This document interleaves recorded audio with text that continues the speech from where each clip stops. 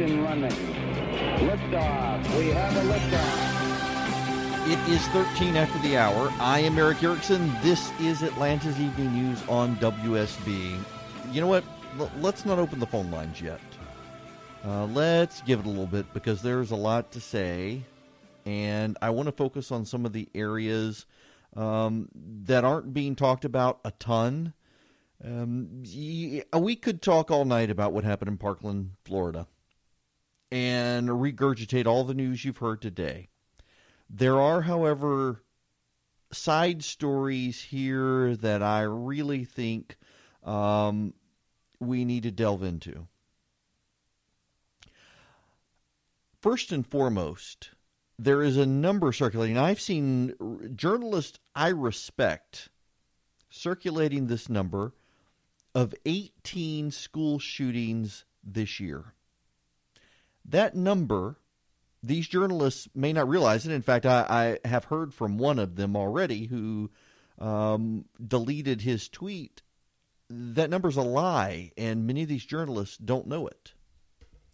The number comes from a group called Everytown for Gun Safety. It is the group backed by Mike Bloomberg. It is an anti gun group.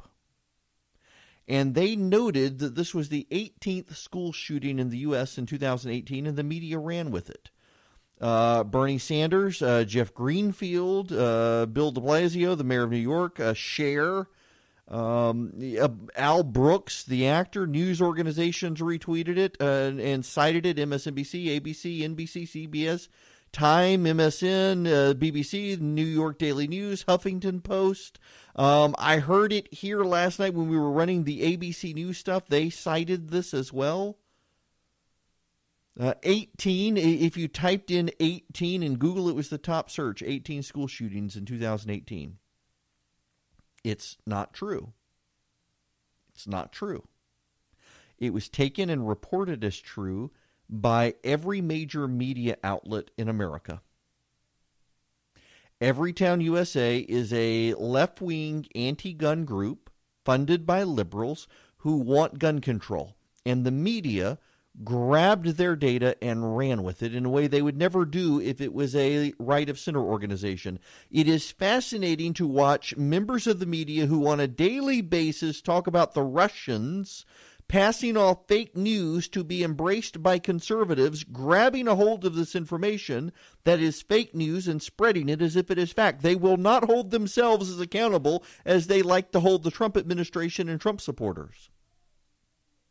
Let me give you this information, and this uh, credit where it's due to the Washington Post, one of the few news organizations that did not run with the data. On the afternoon of January 3rd, a 31 year old man who had parked outside a Michigan elementary school called police to say he was armed and suicidal. Several hours later, he killed himself. The school had been closed for seven months. There were no teachers there, there were no students there. That is one of the 18 school shootings this year, according to Everytown. Also on the organization's site is an incident from January 20th when at 1 o'clock in the morning a man was shot at a sorority event on the campus of Wake Forest University. A week later, at a basketball game uh, was being held at a Michigan high school, someone fired several rounds from a gun in the parking lot. No one was injured. It was past 8 p.m., well after classes had ended for the day. But those were both school shootings listed by Everytown. Suicides were listed. In other cases, it was other random events where a bullet happened to land on a school campus. That was considered a school shooting. That a stray bullet fired from somewhere else landed on school grounds with no injuries and they listed Stephen Gutowski at the Washington Free Beacon. Let, let me read you what he wrote. This broad definition of school shootings places two separate suicides a January 9th incident where a man shot a BB gun at a bus window, resulting in no injuries, a January 10th incident where a student in a criminal justice club accidentally shot a peace officer's real gun at a target on a classroom wall instead of a training gun, which resulted in no injuries. There was a January 9th incident where gunshots were fired from somewhere outside of Cal State San Bernardino, which struck a building on campus without injuries. There was a murder of a Winston-Salem State University student at a nightclub near the Wake Forest campus. There was a shooting of a 15 year old at a Dallas area high school. And then there was the event in Kentucky, which left two dead and 18 injured. They're lumping all of these shootings in. Again, one of the shootings in this 18 school shootings this year was of a man parked in front of an abandoned school building who committed suicide. There were no teachers, there were no students, there was no school, there was a school building. And that was included. Time and again, the media pushes these stories. There's no reason for anyone on the right to want to compromise on gun control when the media is willing to embrace lies as facts. And all they want to do is convince conservatives to move the left's way. You know, there are areas of common concern as well. And let's not excuse the politicians from behaving badly. Do you know there's a bipartisan consensus to get rid of the bump stock? The National Rifle Association supports uh, either regulatory or legislative efforts to get rid of the bump stock. They won't even let them be used at their firing ranges. But when members of Congress tried to draft legislation solely to ban the bump stock, anti gun lawmakers added provisions that would have banned every single handgun in the country. That hasn't been reported, has it? But it's true.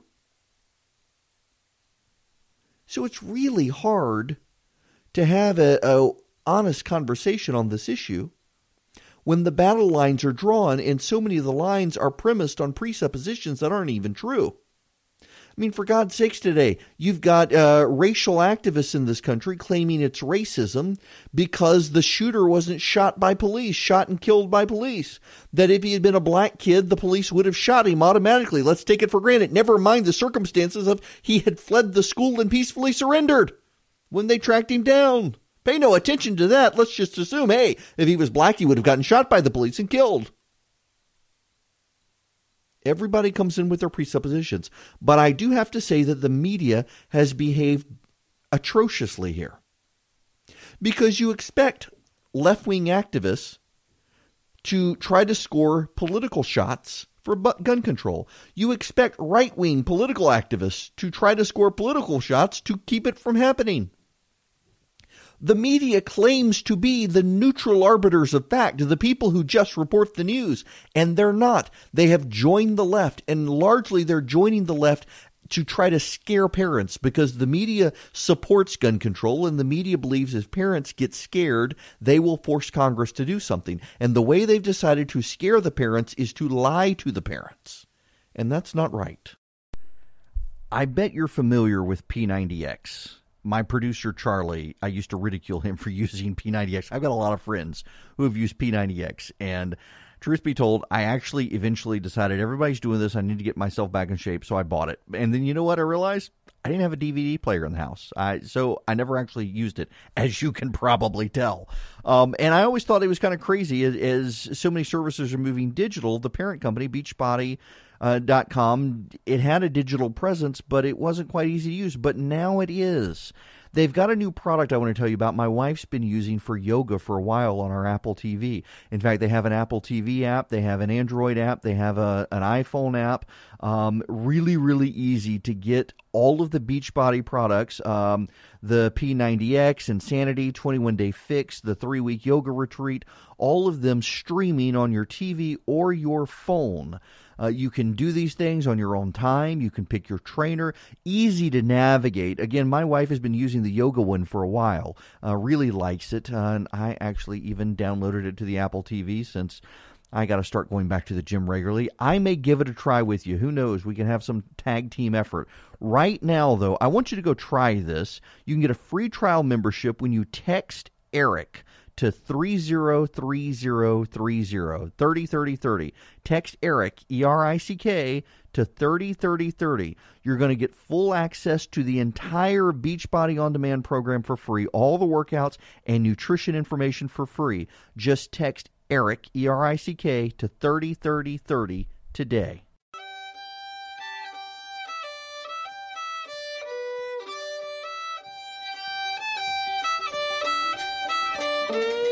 It is 27 after the hour. Erick Erickson here. Okay, we can open up phone lines now 404 872 0750 1 800 WSB Talk. One of the, the things that was reported this morning is that uh, the shooter he was a member of a white supremacy group in Florida. Uh, law enforcement is now saying that's not true. There's no evidence to tie him to this group, even though the group claimed him. Now, what I find interesting about this, first of all, is that a white supremacy group is willing to claim a mass shooter at a school. But second, most groups do. Most of these sorts of groups are willing to claim people who do these things. They're willing to say, yes, this is one of ours uh, because they want the notoriety. So this group was willing to do that. You, you know, one of the groups out there that's not ever willing to do that? ISIS. There have only been two documented cases where ISIS has claimed someone was one of theirs, uh, and the media, the, the FBI hasn't been able to trace the people back to ISIS. In fact, there have been numerous people who claim to be of ISIS when ISIS says no. One of them happened over in Europe. The other one, the mass shooting in Las Vegas. ISIS says that was them.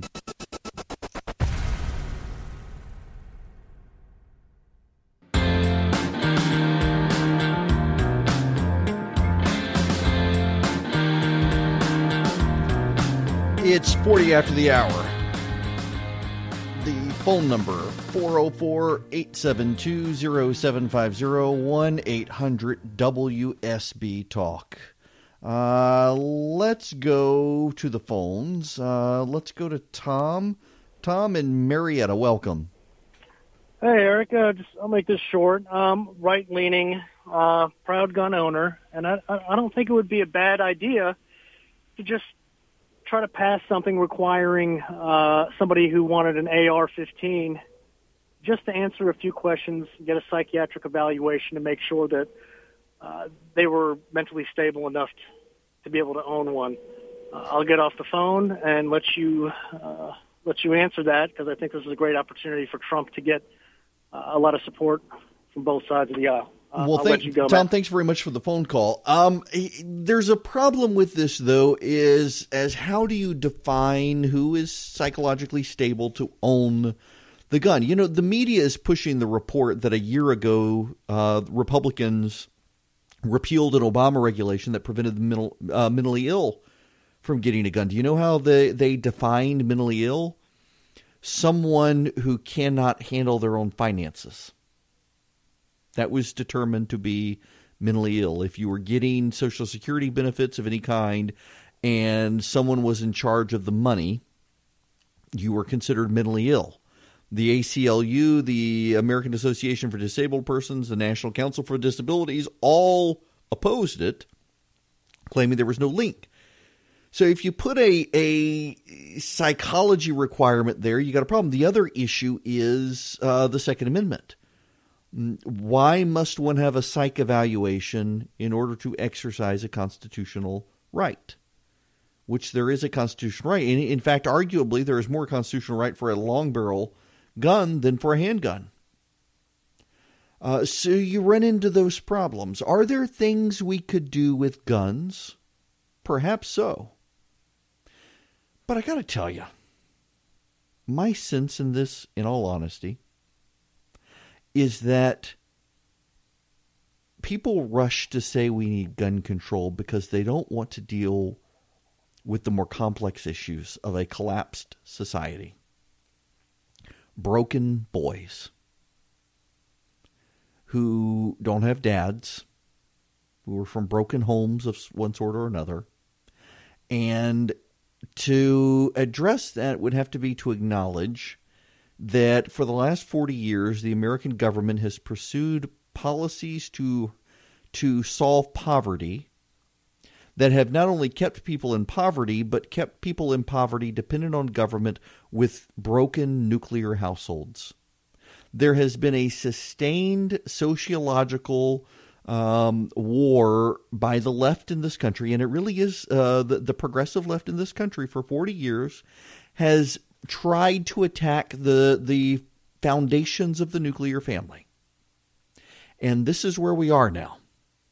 We have more households without parents, or celebrating single parents. You're not allowed to say anything critical about single parenthood because you know you're you're insulting people. Uh, you can't suggest that a two parent nuclear household is a more stable household. You have to presume that that moms and dads are interchangeable because you can't point out, in fact, that they're not, because to do so is homophobic, bigot, racist, whatever you want to say.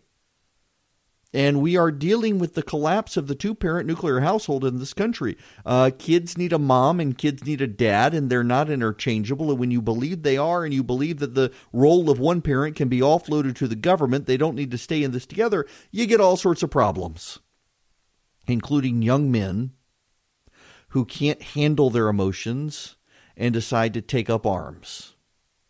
That's what happens when society collapses. But no one wants to talk about that. It's a lot easier to say, hey, let's just round up the guns. I mean, y'all, listen, we, we could spend all day on, on these stories of the collapse of society, mm, but no one wants to recognize or appreciate them, even though they're there. And that's unfortunate and everybody wants to rush to guns. Here's the problem, and I hear people call, call in, they call in here, they tweet, and they say, well, Australia got rid of guns. No one wants to even have the basic acknowledgement that Australia doesn't have a Second Amendment. And here we have a Second Amendment. And because we have a Second Amendment, there are things we have to do here that you don't have to do in Australia. And there are things we cannot do here that you can do in Australia or anywhere else for that matter. I mean, I put up on Twitter earlier something very similar, saying that, that people want to deal with gun control because they don't want to deal with the issue of the collapse of family and all the boys without dads. And somebody replied, Well, here in Peru, we have lots of kids abandoned there by their families, and we don't have this. Well, Peru is not the United States of America. And uh, liberals say, "Oh, that's there you go again." Conservatives always say the United States is isn't like these other countries, so these things don't apply. Well, they don't. We are not like other countries all these people salivate over the fact that, hey, let, we should have a, a universal healthcare system like Great Britain. I'm sorry, but the population difference between the United States and Great Britain, the geographic diversity, the, the access to or lack of access to hospitals is different. Uh, on and on and on. The differences pile up until you realize you can't just take their system and apply it here. In the same way, we have parental instability here without the undergirding social structures of churches and whatnot in this country that other places do. Peru is a largely homogenous society that has a strong Catholic um, undergirding of social justice and social society in that country, with a government uh, that that conforms in that direction. We don't in this country because of separation of church and state and everything else. We are a different country. One thing we had until the 1970s and 80s in this country was a appreciation for the two parent nuclear household raising kids. And guess what happened? In the 70s and 80s as that went away the number of mass shooting events in this country involving kids went up. While the overall trajectory of mass shootings in this country has gone down in the last 100 years the number involving kids has actually increased corresponding to the collapse of parents in a household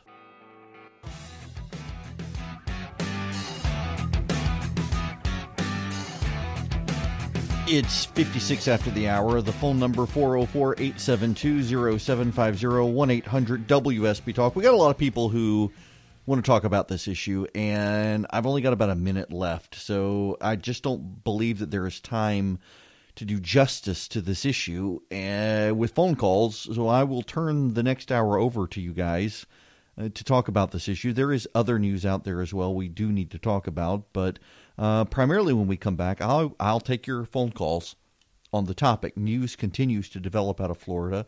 Uh, we know now that, unlike prior reports, the guy was not actually a member of any white nationalist or white supremacist group.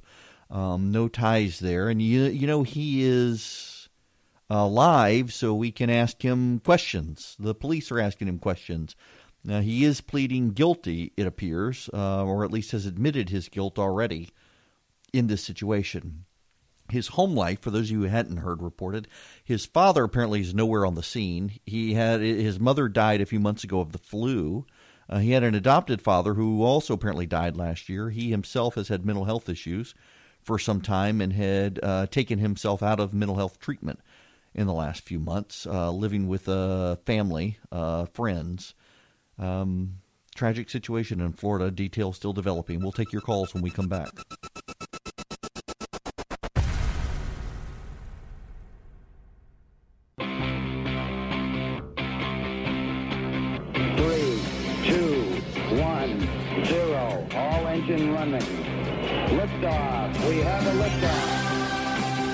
It's 10 after the hour. I am Erick Erickson. This is Atlanta's Evening News on WSB, and I think I'm going to go on and open the phone lines now and start taking calls. There are a lot of folks who want to call in and discuss the the issue in Florida and the issue of guns and gun control and gun violence and uh, collapsing society, if you will. The phone number 404 872 0750 1 800 WSB Talk. Uh, let us go first to Oda calling from Alpharetta. Welcome to the program. How are you? Oda? Hello? Hey, Erick. Hi there.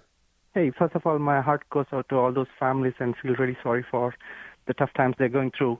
Um, my question is like keeping the uh, politics and debates and Second Amendment, everything aside, why there are no enough security in terms of metal detectors or any such things when you see like in all our airports, uh, codes, all the other places where we have all these things, but why not the school system? I mean, like, you know, that is a great question, and I don't know the specifics of this school, but more and more schools are headed in those directions or are having doors through which it's difficult to enter a, a, second level of doors. I know a number of schools where you can open the front door of the school uh, to be seen, but then there's a second uh, security door that someone has to push a button to to open. Um, I don't know the specifics of the school. Were there there are was there armed law enforcement on the campus? Um, I, I know in Florida teachers cannot conceal carry on the school campuses. I think again that's something that needs to be considered. And I suspect what we're also going to see is there's going to be a push now to turn closets and classrooms into secure rooms that are hard to penetrate, where teachers can put students in the event of these mass shooting episodes. Certainly, there are things we can do to take precautions uh, given what is happening um, as society continues to descend further and further into chaos. Um, Dutch in Marietta, you're up next. Welcome. Yeah, Erick, I really agree with your uh, discussions about the decline of culture and society, but I also think that there's got to be something done about the photorealistic uh, games that are available 24/7 to the kids that are really not occupied with uh, education or other responsibilities. What do you think about that? Well, you know, this goes to I, I think parents matter. And if parents aren't going to police these things, uh, I don't know that society can police them. Uh, and I, I, don't think under our current, I mean, if we're going to, to get into it completely, there's a First Amendment issue there that, I mean, if we're going to change the First Amendment for that, then I think liberals will say, well, we can change the Second Amendment while we're at it. Uh, do we want to go down that road? I, I think this is a, another situation, and I realize there was a tragic situation here where this guy's mother and adopted father had both passed away in the last year, but his issues clearly were developing before that and what was going on. And we also know, by the way, and, and law enforcement is confirm, confirm, confirming it this evening, that he had been reported several times by individuals, and the FBI did no follow up. That should be a big red flag for us. This is uh, one of numerous instances now where an individual has been flagged by the FBI and the FBI has not done something. In fact, I want to read you a really amazing thread here that's on Twitter. My buddy Fred on Twitter, whose handle is Fred on Twitter, uh, says there was an armed guard. He never saw the shooter. Um, you know, ingress and egress inside and outside of schools is one of the big issues that has to be dealt with. Uh, now, I'm going to read this this is from uh, CJ Perry on Twitter. It says true story. Listen to this, please. If you don't listen to anything else, listen to this, and, and we will take your phone calls 404 872 0750 1 800 WSB Talk. True story, this guy writes. Several years ago, I had a meeting at a prominent Los Angeles building. When entering the parking garage, I was asked to open my trunk for a security search. I popped it from the driver's seat, thinking nothing of it, and then I had a profound oh beep moment. It was a Monday after drill weekend. He's in the National Guard. The contents of my trunk consisted of a combat helmet, body armor, M4 rifle magazines, and several military bags. I knew I was about to do a lot of explaining, and then the guard waved me in, no questions. I was stunned. I had a nearly complete kit for conducting a massacre in plain view, and the security guard wasn't the least bit curious. This is one of the most prominent buildings in Los Angeles, a prime target. I was stunned. Having some time before my meeting, I went to the building security office. I met the guy in charge and explained my concern. He gave me a bureaucratic brush off and promised to retrain the guard. It was obvious I was wasting my breath, so I left to go about my business. Fast forward a week, there's a knock at my door. Two guys in suits. It's a federal anti terror task force. They wanted to interview me about the incident at the building. The security director had reported me to the LAPD. After a few minutes of chatting, they agreed I had done the right thing and the security director was embarrassed, so they went on their way. Mind you, I live 40 minutes from the building. Which is to say, the FBI did more to track down a guy who reported weak security at a building than a guy who threatened to shoot up a school. Why do we have this problem? I don't know all the reasons, but I think this is one of them. Yes. Yes. We, we, we have these situations time and time again, and we find the San Bernardino shooting the the shooting in um, Florida in Orlando at the nightclub. People had been reported to the FBI. The FBI eh, had looked into it and either dismissed it or didn't follow up. Tragic. Maybe before we go after people's Second Amendment rights, we should go after the, the law enforcement institutions have who have insisted if you see something, say something, and we say something and they don't follow up. Maybe, perhaps, just maybe, we should start there. One more call before the break. Mike and Marietta, you're next. Welcome. Hey, hey, Erick. I, I'm sorry I missed uh, a lot of the show here, and I don't know if you uh, right. talked about this, but uh, about the culpability of the media and all this in the first place. I mean, giving these people a big stage uh, for days. Yeah, Mike, I haven't talked about that, but one thing I've done, you will not hear me say the name of the shooter on this program.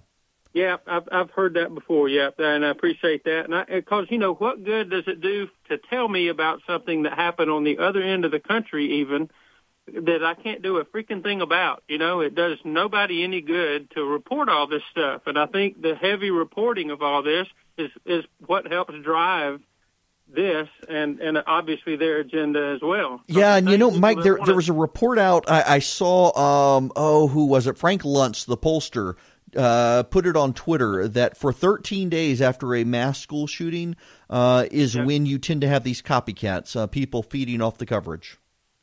Wow. Well, you know, and, and what gets me is the same people that want to take our guns are the same people that want to let illegals in here, give them cover in sanctuary cities, let them vote for our politicians. It was funny today to a degree, morbidly funny, to watch uh, Senate Democrats railing on Republicans for wanting to restrict DACA citizenship and dragging out this debate when they were saying they needed to get on to gun control. We needed to get to gun control.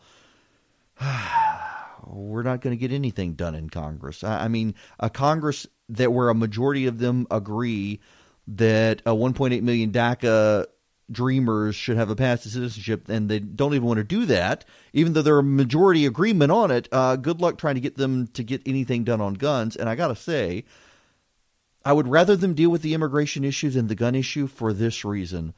Uh, there is a notion in this country that the government has to protect us. And I think it is increasingly clear in the modern age we've got to protect ourselves. I bet you're familiar with P90X my producer Charlie, I used to ridicule him for using P90X. I've got a lot of friends who have used P90X, and truth be told, I actually eventually decided everybody's doing this. I need to get myself back in shape, so I bought it. And then you know what I realized? I didn't have a DVD player in the house, I, so I never actually used it, as you can probably tell. Um, and I always thought it was kind of crazy as, as, so many services are moving digital. The parent company, Beachbody. Uh, com. It had a digital presence, but it wasn't quite easy to use. But now it is. They've got a new product I want to tell you about. My wife's been using for yoga for a while on our Apple TV. In fact, they have an Apple TV app, they have an Android app, they have a, an iPhone app. Um, really, really easy to get all of the Beachbody products um, the P90X, Insanity, 21 Day Fix, the three week yoga retreat, all of them streaming on your TV or your phone. Uh, you can do these things on your own time. You can pick your trainer. Easy to navigate. Again, my wife has been using the yoga one for a while. Uh, really likes it. Uh, and I actually even downloaded it to the Apple TV since I got to start going back to the gym regularly. I may give it a try with you. Who knows? We can have some tag team effort. Right now, though, I want you to go try this. You can get a free trial membership when you text Erick to 303030 303030. Text Erick, E R I C K, to 303030. You're going to get full access to the entire Beachbody On Demand program for free, all the workouts and nutrition information for free. Just text Erick, E R I C K, to 303030 today.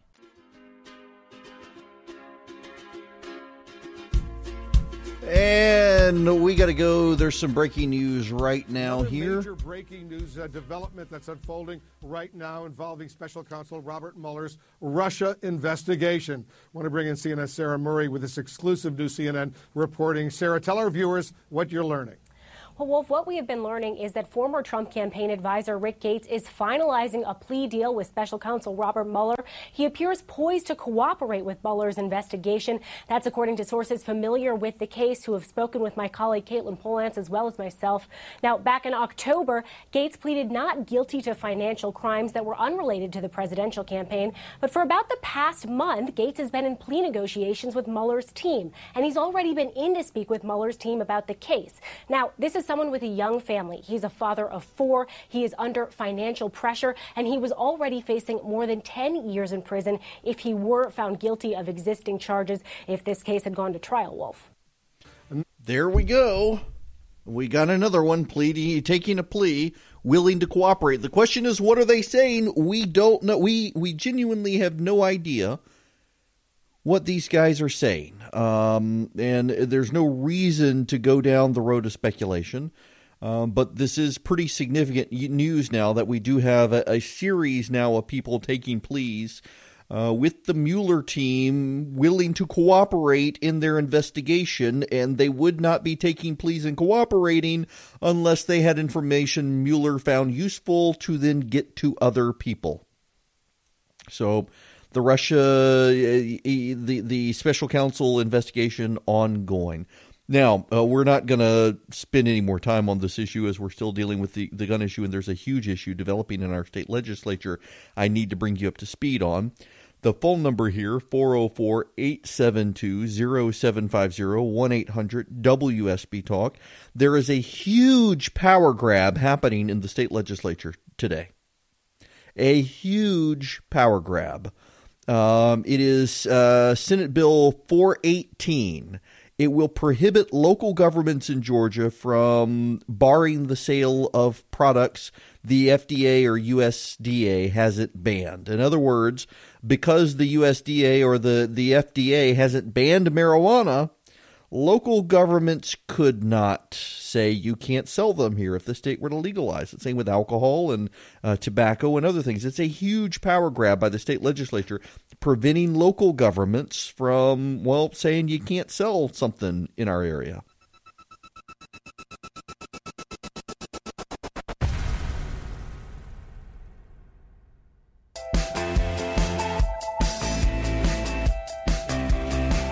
So I think we have a winner for the hot take. You know what the hot take is? It it is the the someone offers up a serious take on social media um, that is actually an insane idea. Um, we have someone. Uh, her Twitter handle, interestingly enough, is Dorothy of Israel. Uh, she says her name is uh, Hoodie Rebecca. I have no idea who this person is. She has a lot of followers. Uh, she's apparently Irish, Jewish, American. And she is essentially advocating the killing of children of the mentally ill or the sterilization of the mothers because it runs in families, you know. So yeah, this is the the epitome of the far left progressive here. Uh, let's kill all the kids before the kids can kill each other. You know, as an aside here, I put this up on the resurgent.com earlier today. One of the reasons we can't have nice things, one of the reasons we can't have a, a civil conversation on these things is because it's always the left media wanting Republicans, conservatives to head their way. Look at the issue of uh, abortion. A majority in this country supports banning uh, partial birth abortion. A majority of this country supports banning abortion after 20 weeks. Well, we can't have that conversation because right now we have to talk about gun control. When can we have that conversation? Never. But we can have the gun control conversation anytime, with or without a shooting. And it's always conservatives. Why don't you want to come our direction? The majority of the country supports increased background checks. Conservatives, you should come our way. Well, what about the 20 week abortion ban? No, no, no, no, no. We can't talk about that right now. It's not appropriate to talk about right now. Is it appropriate to talk about the March for Life? No, no, no. We, we got the, the Women's March the next day. We got to talk about that. Why should conservatives ever compromise on any of these things? Because compromise is not the left and the right coming together to find consensus. It's always conservatives headed towards the left whether it's boys who want to use girls' bathrooms, whether it's it's the, the Christian who wants to, to not have to provide goods and services for a gay wedding, whether it's guns, uh, whatever you want, even abortion, we've all got to go left. Where the left never comes our way on any of these issues. We can only talk about their issues, we can only talk about them in their way, and we can only use their data, no matter how fraudulent the data is. Why should we ever bother to compromise on guns? Because it's not a compromise, it's a cave. The left has designed it so that conservatives can't compromise on gun control, they can only cave. And the moment you say, okay, let's have an extra day. You cannot go into a store and buy a gun that day. You have to wait 24 hours before you can go back and pick up your gun. Let's do that. Well, then you know what the left's going to do? They're going to say, "Hi, hey, you compromised on this issue. Now you got to compromise on this one." They're they're never going to compromise on the issue we're going to find ourselves negotiating against ourselves. That's all we're going to do. So why even bother? Now, let's go to the phones. Michael in Canton, you are up next. Welcome. Hey, thank you, sir. Um, my question is that Senate power grab you're talking about. Would that mean that Cobb County can no longer tell strip clubs they can't serve alcohol at the strip clubs, like when they ran Taj Mahal out of business? No, it would not. Um, you well, yes and no. It, it, depends on how you read it. That's part of the problem with the legislation. Is no, Cobb County could not ban uh, places from selling alcohol, but Cobb County would still be able to regulate uh, these adult uh, joints. Okay, I was just wondering about that. Thank you. Yeah, absolutely. Um, if you had to ask me what this legislation, and I don't even know, it's just bizarre that they want to say local governments can't ban things that are regulated by the USDA. So they could ban a strip club because a strip club isn't regulated by the USDA. They could not ban a an adult novelty that is regulated by the FDA. Couldn't do that. Uh, they couldn't ban tobacco sales um, all of these sorts of, of things by the USDA and the FDA. This seems like an enormous power grab by the state legislature. I'll tell you my suspicious mind is that you know where we're headed as a state, don't you? We're headed towards greater legalization of marijuana. We are. And there are those already out there because of, of legal medical marijuana. There are communities in the state saying, we don't want any part of this. And what this legislation does is says you can't opt out. You, you, you see, look at what happened in Colorado.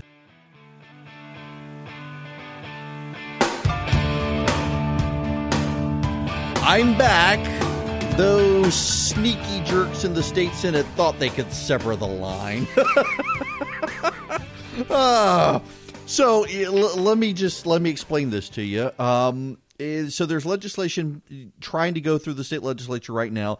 It was concocted behind closed doors, and now they're trying to rush it through. SB 418, a companion bill from the House, SB or HB 948, and essentially says local governments cannot um, prohibit the sale of anything unless the, the FDA and the, the USDA bans it if it's a product under their jurisdiction. This relates to tobacco, it relates to alcohol, it relates to medical marijuana, it relates to the legalization of marijuana. I wonder if the guys who are who are backing this legislation have bought themselves some pot farms. Because that is essentially what's going to happen here is if Georgia heads down the medical marijuana road, which it is eventually, I mean, don't think George is immune from this. You got the Democrats now campaigning on the issue against the Republicans uh, for governor here. You've got a, a, growing number of Republicans in the state legislature who want it. And you're not going to be able to have your local government opt out and say, you know, we just don't want to sell this product here.